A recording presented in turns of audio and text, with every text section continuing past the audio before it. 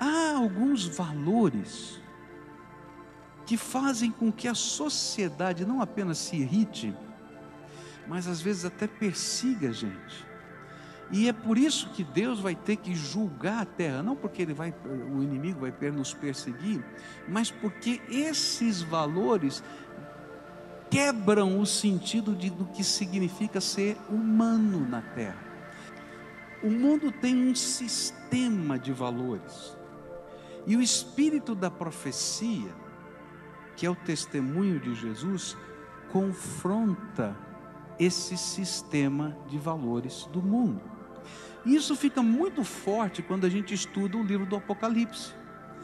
Do capítulo 14 do Apocalipse até o capítulo 20, vai aparecer no cenário algumas figuras muito estranhas. Vai aparecer uma prostituta que monta, não é? Uma besta vermelha, aparece uma outra besta, um animal, uma, uma fera devoradora que alicia as nações contra Deus. Aparece uma série de figuras assim que a gente fica dizendo: bom, que negócio é esse, que complicado é.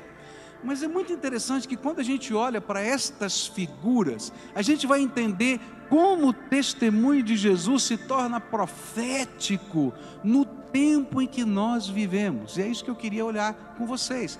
Abra sua Bíblia em Apocalipse 14 e você vai começar a entender esse processo. Diz assim a palavra de Deus a partir do verso 6. Apocalipse 14, verso 6. E então vi outro anjo que voava pelo céu e tinha na mão o evangelho eterno para proclamar aos que habitam na terra a toda nação, tribo, língua e povo. E ele disse em alta voz: Temam a Deus e glorifiquem-no, pois chegou a hora do seu juízo. Adorem aquele que fez os céus, a terra, o mar e as fontes das águas. E um segundo anjo o seguiu, dizendo: Caiu, caiu a grande Babilônia que fez todas as nações beberem o vinho do vinho da fúria da sua prostituição. O livro do Apocalipse usa duas figuras para mostrar um dos valores do mundo que entram em conflito com a igreja de Jesus e com os servos de Deus duas figuras. A primeira figura é a grande prostituta que está no capítulo 17. E a outra figura é essa que está aqui, a Babilônia, que vai aparecer no capítulo 14, vai aparecer no capítulo 16, vai aparecer no capítulo 18. Estas duas figuras nos ensinam que há certos valores que estão em constante conflito com o reino de Deus, e que a pregação do Evangelho como espírito da profecia, revela o juízo de Deus temporal e eterno sobre esses valores. Por isso, é missão profética nossa, como povo de Deus, como parte integrante do testemunho de Jesus, confrontar estes valores de uma sociedade corrompida.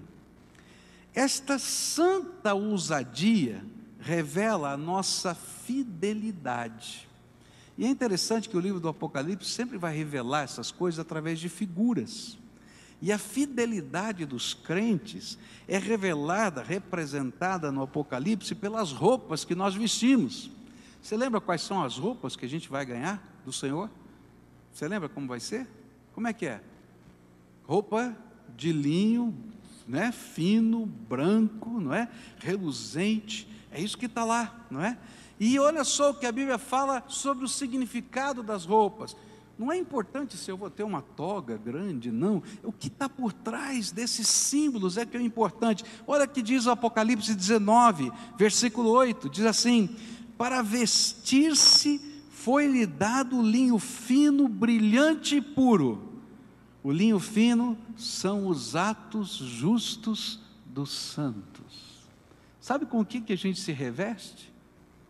a gente se reveste com uma vida bonita aos olhos de Deus e que se contrapõe a alguns valores que o mundo diz que estão corretos ou são bons. E na medida que a gente está fazendo isso, a gente se torna a voz profética de Deus nessa terra, que não apenas anuncia e fala, mas vive de uma maneira que confronta esse mundo. Uma das coisas que você, se já recebeu Jesus como Senhor e Salvador da sua vida, está enfrentando, é que os teus valores não vão bater com os valores das pessoas que convivem com você. Aquilo que parece normal para muita gente não é normal para você. A maneira de falar, a maneira de viver, a maneira de lidar com as pessoas, a maneira de pagar as contas ou não pagá-las. Está entendendo? E é muito estranho, porque todo mundo vai olhar para você e vai dizer assim: é bobo, rapaz, assim não funciona, não é desse jeito. Mas cada vez que você está fazendo isso, o Senhor está vestindo você com a roupa dele. Está entendendo? E de alguma maneira nossa vestimenta entra em confronto com os valores desse mundo, nosso jeito de viver. É por isso que o capítulo 4 do livro de Efésios em diante, até o final do capítulo 6, ele vai falar que nós temos que nos vestirmos da santidade de Deus. Ele vai falar como é que essa roupa se é apropriada dentro de nós. Só que quando a gente vive isso, quando a gente vive aquilo que Romanos 12, verso 2 está ensinando, não se amoldem ao padrão deste mundo, mas transformem-se pela renovação da sua mente, para que sejam capazes de experimentar, comprovar a boa, agradável, perfeita vontade de Deus. Quando a gente vive isso, de alguma maneira a gente incomoda, de alguma maneira a gente não faz bem as pessoas se irritam com a gente. É estranho, né? Não é estranho isso? Mas é isso que acontece. Porque de alguma maneira, só o teu jeito de viver incomoda, porque o Espírito de Deus, como Espírito da profecia, diz: olha, esse teu jeito não é tão bom. E cada vez que você está vivendo, você não está nem falando, você está vivendo, você está confrontando. Você é louco, para com isso. Está entendendo? Eu me lembro de uma jovem, foi minha ovelha, muitos anos atrás, ela estava fazendo o seu doutorado, e naquele momento eu estava num grupo de estudo, discutindo, e ela disse que era virgem. E o grupo dela caiu na gargalhada e começaram a fazer piada, porque ela era virgem. E num dado momento ela disse assim: Olha, vocês falam tanto em liberdade, vocês falam tanto em, em, em respeitar os outros, por que, que vocês não me dão o direito de guardar a minha virgindade para o meu marido, para o homem que um dia eu vou dividir, dividir a minha vida? Por que, que vocês não me dão a mesma liberdade que vocês pedem? Está entendendo? A gente, quando vive o Evangelho, sem falar nada, quanto mais falando, a gente confronta. Mas a Bíblia diz que isso é a manifestação do Espírito da profecia. De alguma maneira o Espírito de Deus está trabalhando nessa hora, naquele coração, e aquela pessoa que hoje está irritada, de alguma maneira, em algum momento, vai ser tocada, porque lá no fundo do coração, ele sabe que precisa de algo diferente que só a graça de Deus vai dar. Agora, há alguns valores que fazem com que a sociedade não apenas se irrite, mas às vezes até persiga a gente. E é por isso que Deus vai ter que julgar a terra, não porque ele vai, o inimigo vai nos perseguir, mas porque esses valores quebram o sentido de, do que significa ser humano na terra. E é por isso que Apocalipse 18 vai falar muito claramente sobre essa prostituta que é a cidade. Esses dois modelos são a mesma coisa. Ele está dizendo das mesmas coisas, dos mesmos problemas.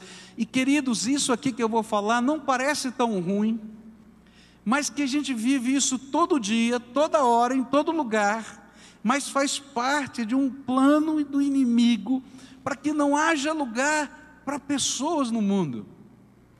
Olha só o que a Bíblia diz no capítulo 18 de Apocalipse, a partir do verso 11: Os negociantes da terra chorarão e se lamentarão por causa dela, da queda da prostituta, da queda da cidade de Babilônia, porque ninguém mais compra a sua mercadoria. Artigos como ouro, prata, pedras preciosas, pérolas, linho fino, púrpura, seda, tecido vermelho, todo tipo de madeira de cedro, peças de marfim, madeira preciosa, bronze, ferro e mármore canela e outras especiarias, incenso, mirra, perfumes, vinho, azeite de oliva, farinha fina de trigo e trigo, bois e ovelhas, cavalos e carruagens, corpos e almas de seres humanos. Uau! Que, que a Bíblia está tentando dizer? Quer dizer que é pecado a gente comprar e vender? Não.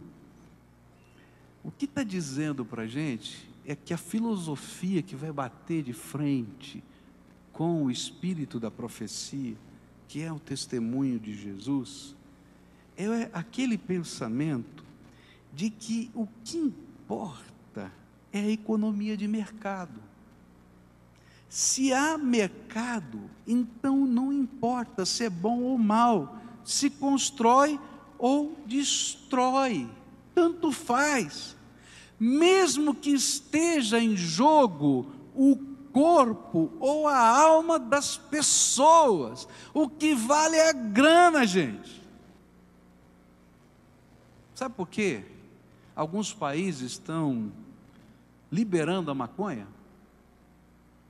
Não é porque as drogas não são problema nessa terra, e quem tem problema com drogas sabe que a maconha é o primeiro passo para as drogas mais pesadas. É porque a economia de mercado diz que a gente vai ganhar dinheiro. E se a gente ganhar dinheiro com a desgraça dos outros, o problema é dos outros. Você está entendendo? Você sabe por quê? 30% das pessoas na África estão morrendo de AIDS. Por quê? Se a gente não vender o coquetel ao preço de mercado, ele vai desvalorizar e a gente vai perder dinheiro. Sabe por que o Brasil consegue oferecer o coquetel para todo mundo que tem AIDS? Porque eles usaram a mesma lei americana aqui no Brasil, que diz quando existe uma situação de emergência nacional, de segurança nacional, seja de saúde, seja o que for, o governo tem o direito de quebrar a patente de qualquer laboratório do mundo e produzir o medicamento para salvar o seu cidadão. Só que essa lei vale nos Estados Unidos, não vale em nenhum outro lugar do mundo. Então, quando o Brasil copiou exatamente o texto dessa lei, um ministro nosso da saúde disse: ou você muda o preço, nós vamos quebrar a patente. Eles mudaram o preço e o Brasil tem a um preço diferenciado do mundo inteiro aquilo que é o coquetel da raiz. Você está entendendo o que eu estou falando? O que a Bíblia está dizendo é que tem, dentro da mentalidade da sociedade, um tipo de sentimento de fazer o homem virar uma coisa. O corpo dele, a alma dele não vale nada. O que vale é a economia de mercado. E é por isso que quando cair essa filosofia diante da glória de Deus, diante da intervenção de Deus, os comerciantes vão chorar. Porque essa economia não vai funcionar. Porque nem tudo na vida é uma questão de negócio, de grana, de posição e de poder. Nós fomos chamados por Deus para pregar profeticamente a salvação, afirmando que tanto o corpo como a alma humana valem muito mais do que qualquer coisa. Agora, queridos, eu estou inserido nessa sociedade, você está inserido nessa sociedade. E eu não consigo estar alheio a esse tipo de pressão todo dia. Mas eu posso olhar as pessoas e valorizá-las mais do que as coisas.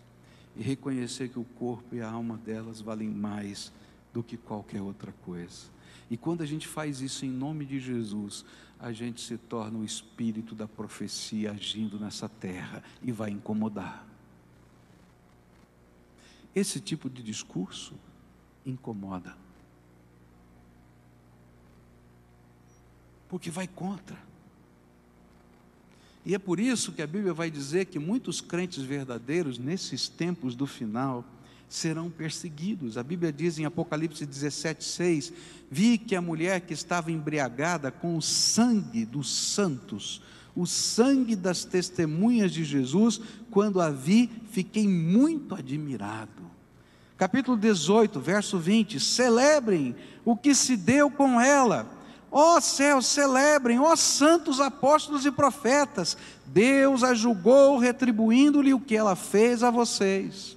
E Apocalipse 19, 2: Pois verdadeiros e justos são os seus juízos, ele condenou a grande prostituta que corrompia a terra com a sua prostituição, e ele cobrou dela o sangue dos seus servos.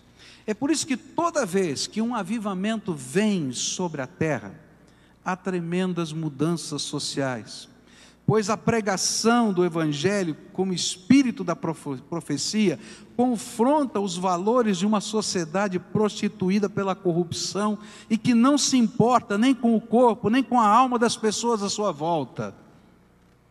Por isso, como profetas, precisamos manifestar o poder de Deus que confronta os valores de ação e transformação dessas vidas. E aí aquilo que era aparentemente espírito de luz vira um demônio rosnando no chão que tem que ser expulso em nome de Jesus. E todo mundo vai vendo as transformações do poder de Deus. Aquele cara que era assim, mudou, porque Jesus foi lá e arrancou. E aí a profecia revelada na vida, no testemunho, na pregação, na autoridade do Evangelho, confronta isso. É interessante que quando a gente anuncia o Evangelho, a gente revela o engano dos demônios, a gente mostra que falsos profetas se disfarçam em anjos de luz no meio do nosso povo e que até sacrifícios humanos, quer sejam em rituais, quer sejam pelos desvalores que permeiam a busca de poder, começam a ser denunciados. Eu não sei se você viu a semana passada uma notícia de uma mulher, uma moça que queria sair de um culto e foi assassinada? Né? Que raio de culto é esse? Quando nós pregamos a palavra, nós promovemos libertação. E quando pregamos a palavra, fazemos distinção entre o que é de Deus e o que não é de Deus. Eu acho tremendo porque a Bíblia vai mostrar para a gente que isso não é apenas uma questão teórica, não é apenas uma questão filosófica. Olha, a Bíblia diz isso, vou comprovar para você que eu estou certo. Não, é demonstração de graça e poder. Você lembra dos magos do Egito? E eles vão disputando com Moisés, e os, as pragas do Egito vão se intensificando até que chega um determinado momento que diz, Faraó diz para os magos do Egito: Olha, por que, que vocês não conseguiram imitar o mesmo poder manifesto na vida de Moisés? E aí então os magos vão dizer assim: porque esse aí é o dedo de Deus. Queridos, quando a gente começa a viver o Evangelho, pregar o Evangelho com ousadia, o dedo de Deus se revela na terra. Eu acho incrível quando o apóstolo Paulo está na ilha de Chipre, não é? E tem lá um assessor de Sérgio Paulo, governador. Eu acho interessante porque geralmente esse povo, não é? Tem assessores assim, você já viu, né? Tem uns, né? Então está lá Bar Jesus, que é o assessor de, de Sérgio Paulo. E de repente Paulo está falando e ele está se contrapondo, porque ele é o assessor, ele está lá, ele é um bruxo. E de repente o apóstolo Paulo, espírito da profecia, no testemunho do Evangelho, ele é cheio do espírito e parece um negócio doido. Gente, que coisa maluca. Ele diz assim: Ô Bar Jesus, fica cego em nome de Jesus agora. E o homem ficou ceguinho. Temporariamente ele ficou ceguinho. Tinha que ser carregado. E diz assim: Sabe, Sérgio Paulo, por que eu estou fazendo isso? Porque isso aqui é um demônio que está falando. Não tem nada de bom para a tua vida. É o dedo de Deus se revelando. Toda vez que a gente testemunha, toda vez que você prega o Evangelho, toda vez que você ora por alguém, toda vez que você vive a vida cristã com inteireza, você faz parte do espírito da profecia que está agindo nessa terra. Você é o dedo de Deus que está aqui, fazendo diferença. Ah, pastor, mas será que vai mudar essa sociedade? A Bíblia diz que em determinados lugares a sociedade muda, porque a interferência tão tremenda que o inimigo bate em retirada. Mas vai chegar um dia em que toda essa terra vai estar controlada e Jesus vai vir. Mas não significa que vai ser retirado o espírito da profecia dessa terra até a volta do Senhor Jesus. E enquanto ele não volta, ele me deu a missão. Eu estou aqui para isso. Eu estou aqui para isso, para dizer, não é assim. E queridos, se vem um avivamento nessa terra, se vem um avivamento em Curitiba, se vem um avivamento no Brasil, não é para tudo ficar do jeito que estava, não, queridos. É para a gente se levantar e fazer diferença nessa terra. E quando fizermos diferença, o dedo de Deus se manifesta. Agora tem um preço. Você vai ser amado aqui nesse lugar porque as forças que estão agindo estão sendo desmascaradas. Termino voltando para o nosso texto. Apocalipse 19, 10. E então caí aos seus pés para adorá-lo. Mas ele me disse: Não faça isso, sou servo como você e como seus irmãos que se mantêm fiéis ao testemunho de Jesus. Adore a Deus. O testemunho de Jesus é o espírito da profecia. Eu acho tremendo e queria voltar para esse texto para a gente concluir, porque o anjo que está revelando o Apocalipse para João faz questão questão de afirmar para João, o apóstolo, que o espírito da profecia nunca permitiria, nem permitirá que alguém adore outro ser celestial a não ser Deus, na expressão maravilhosa da sua trindade. E é por isso que o espírito da profecia sempre, sempre vai abominar a idolatria. Por isso a pregação de Jesus vai ser o Espírito que diz: olha para cima, você tem um redentor. Olha para cima, que você tem uma esperança.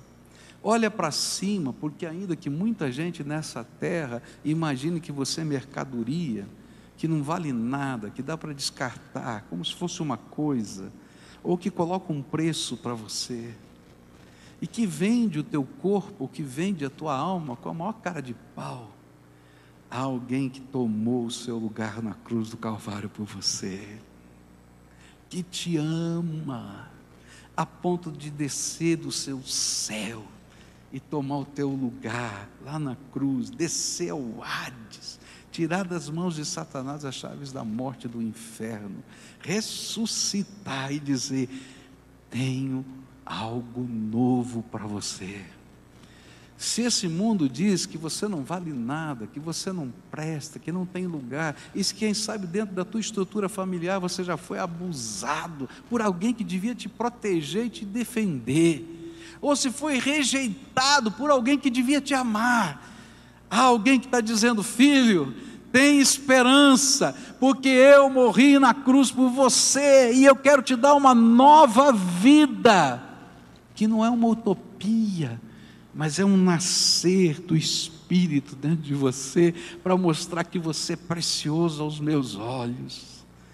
E se alguém te escravizou, e se o inimigo te, te aprisionou, e você está preso por tantas coisas, esse mesmo Senhor diz assim: sou poderoso para quebrar qualquer corrente, e todo espírito que lhe aprisiona vai ser expulso em nome de Jesus.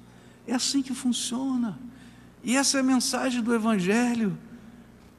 Nós não somos a igreja, nem o povo que vai ensinar você a controlar Deus.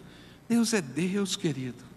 Mas nós vamos ser o povo mais feliz da terra quando a gente se submete debaixo da potente mão de Deus, porque Ele a seu tempo nos ergue nas suas mãos. É isso. Ah, a gente está andando no contramão da história, aleluia! Porque homens que andaram na contramão da história escreveram a história, e nós estamos entre aqueles que vão escrever uma história diferente nessa terra da graça de Deus, do amor de Deus, da visão do reino. Queridos, o espírito da profecia está aqui. Porque o testemunho de Jesus é o espírito da profecia que está falando com a gente.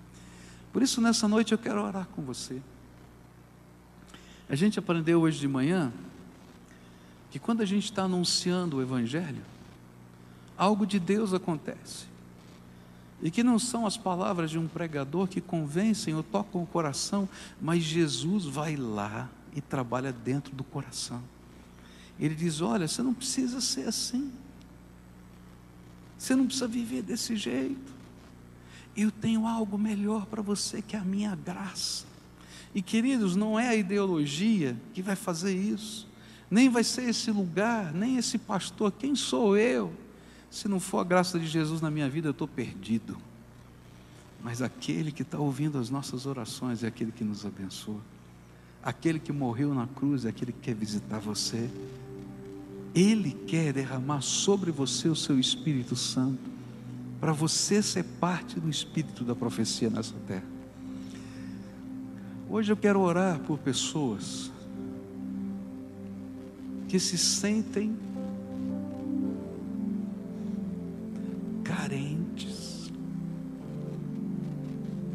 Pastor, estou quebrado, estou arrebentado. O que o senhor falou aí tem a ver com a minha vida, porque eu me sinto assim nesse mundo. E Jesus veio aqui hoje para dizer para você: Ele tem um plano para a tua vida que é benção. Mas você não vai aprender a controlá-lo. Porque quem pode controlar o Todo-Poderoso?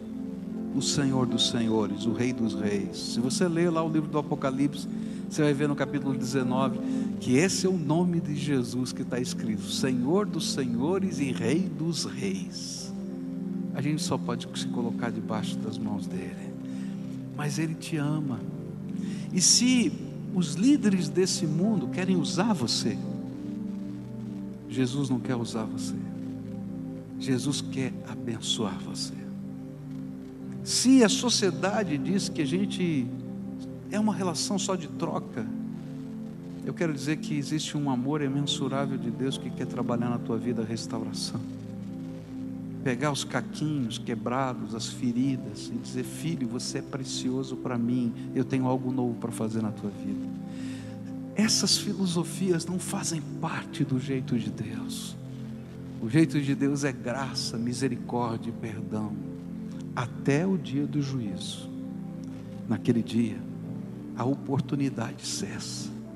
E é por isso que o temor do Senhor é o princípio da sabedoria, porque estas coisas que regem o mundo e que regem a nossa vida serão julgadas um dia. Se o Espírito de Deus estiver tocando o seu coração e você é essa pessoa que precisa da graça, que precisa da intervenção do Espírito, se a tua casa é a casa que precisa de libertação, se a tua alma é a alma que está doída, quebrada, machucada, arrebentada e que precisa ser tratada pelo Espírito, eu queria orar por você hoje. E queria colocar a tua vida nas mãos daquele que é todo poderoso. E quero dizer francamente, eu não tenho poder. Eu não tenho as soluções. Quem sou eu? Eu sou de carne e osso que nem você mas aquele que vai ouvir a nossa oração, Jesus, poderoso para fazer muito mais abundantemente além daquilo que pedimos ou pensamos, segundo o poder dele que em nós opera. Efésios 3:20. E esse Senhor vai derramar o Espírito Santo sobre você. E ele vai convocar você para fazer parte de um santo movimento, onde o Espírito da profecia, revelado no testemunho de Jesus, se espalha nessa terra. Se você quer isso para a tua vida, se você quer isso para a tua casa, se a tua família está precisando disso, dá um cutucão para quem está aí do teu lado, teu marido, tua esposa, teu filho, e vem para cá, a gente vai orar juntos, tá?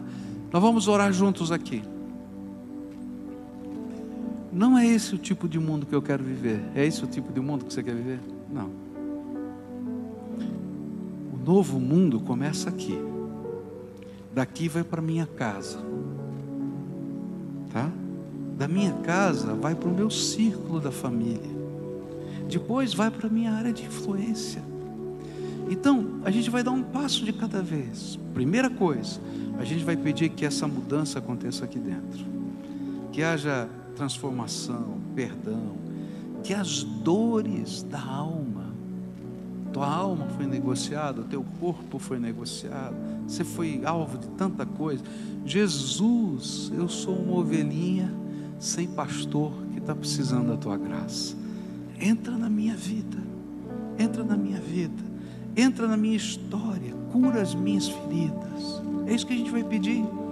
E eu não vou tentar controlar o Senhor que não é assim que funciona, já tentei a minha vida toda. Eu vou me render ao Senhor. Você concorda com isso? Eu vou me render ao Senhor. Eu quero aprender a viver do teu jeito. Essa vai ser a primeira oração que a gente vai fazer. Posso orar assim? Você vai concordar com essa oração? Tá? Depois eu vou orar pela tua casa. Porque a tua casa tem que ser abençoada por Deus. A Bíblia diz que se tem um homem de paz na casa, uma mulher de paz na casa, se você é esse homem de paz, se você é essa mulher de paz, a paz que Deus derrama nessa casa não volta, fica lá. Você está entendendo? Por isso que começa com a gente. E você vai ser o instrumento da paz de Jesus nessa casa. Eu não sei quanto tempo vai demorar, porque a gente está lidando com outras pessoas que têm as mesmas lutas do coração, que não entendem talvez o que vai no teu, mas entendem o que está doendo no dele. Mas você vai ser o homem de paz, a mulher de paz dentro dessa casa. E nós vamos lutar em oração, pedir a graça de Deus, pedir a intervenção do Espírito. A gente não se conforma com a vida medíocre. E eu não estou falando de grana, eu estou falando de vida interior, de vida, vida de felicidade, de relacionamentos. Tá? É disso, de graça de Deus. Deus pode abençoar financeiramente? Pode, mas queridos, não é isso não. Isso, isso é faz parte do dia a dia da vida, mas Deus não está preocupado que você fique rico, você está entendendo? Ele quer que você seja feliz. Isso Ele está preocupado. Você seja o melhor pai que existe, a melhor mãe que existe, melhor filho, que seja uma mulher ou um homem realizado. Ele vai te dar o que é necessário, mas Ele não está prometendo que você vai ficar rico. E às vezes Ele vai ter que mexer nos teus valores. Posso orar por isso? Está entendendo? Então vamos orar juntos. Senhor Jesus, eu quero colocar a minha vida nas tuas mãos. Eu careço da tua misericórdia. Eu estou me sentindo uma ovelha sem pastor. Seja o Senhor o pastor da minha alma. Eu não quero te ensinar o que o Senhor tem que fazer, nem controlar o Senhor. Quem sou eu para controlar Deus? Mas eu vim aqui me colocar debaixo das tuas mãos e dizer: me toma nas tuas mãos. Eu quero me sentir teu filhinho, tua filhinha amada. Eu quero me sentir protegido do Senhor protegida do Senhor. Mas eu sei, Senhor, que tem coisas em mim que tem que mudar. Começa essa mudança dentro do meu coração. começa essa mudança dentro da minha mente. Começa essa mudança nos meus relacionamentos. Começa essa mudança, Senhor, nos meus valores. Me ajuda a aprender do Senhor. Pai, algumas pessoas estão aqui, estão feridas. Está doendo muito. Está doendo muito, Senhor. E eu quero te pedir agora, vem com o poder do teu Espírito e cura a alma dessas pessoas. Oh Pai, eu não tenho poder para fazer isso, mas o Senhor tem. E eu quero te pedir, Senhor, que o Senhor comece a derramar do teu amor de uma maneira tão tremenda, tão tremenda, tão tremenda, que seja quase visível, quase material veio derramar do teu amor sobre essas vidas. E que esse amor desça a profundidade das dores da alma para serem curadas. E onde, Senhor, eles precisam ofertar perdão, porque eles não podem carregar essa dívida para o resto da vida, ela é impagável que o amor do Senhor esteja lá para trabalhar esse perdão dentro do coração. Ó oh, Pai, tem algumas pessoas que Satanás tem fustigado aqui, oprimidos, alguns até possessos, alguns escravizados pelo inimigo. A tua palavra nos diz que toda autoridade foi lhe dada no céu e na terra a tua palavra nos diz que a pregação do Evangelho seria autenticada pelos sinais que seguiriam a proclamação. E eu quero te pedir que nesta hora um sinal do Senhor venha, que essas pessoas sejam livres no poder do nome de Jesus, e que todo o poder das trevas que a aflige, amedronta, escraviza, hostiliza, seja agora quebrado e expulso em nome de Jesus, e que venha sobre essas vidas graça, misericórdia, amor, paz e bênção. Ô Pai, nós falamos aqui, Senhor, que íamos orar pela nossa casa. Pai, que essas casas sejam benditas do Senhor. Ó oh, Pai, Tu nos prometeste que houvesse um homem de paz, uma mulher de paz naquela casa. A paz do Senhor ficaria naquela casa. Ó oh, Pai, tu nos disseste que sempre que chegássemos a um lugar, a uma casa, que nós anunciássemos, que nós desejássemos, que nós deixássemos a paz do Senhor Jesus. Então, Pai, derrama da paz do Senhor Jesus nessas casas e que essa paz comece a inundar o coração dessas vidas e através deles, Senhor, se manifeste em toda a casa. E eu sei que tem muita coisa para acontecer nessa casa, porque existem outras vidas que precisam das mesmas graças. Mas, Senhor, que comece a semeadura da tua paz, da tua alegria, do teu amor, e que o amor deles pelos seus queridos seja tão intenso que seja transformador. Derrama da tua paz Senhor Jesus, começa essa obra, faz essa obra, porque ninguém, ninguém pode fazer a não ser o Senhor.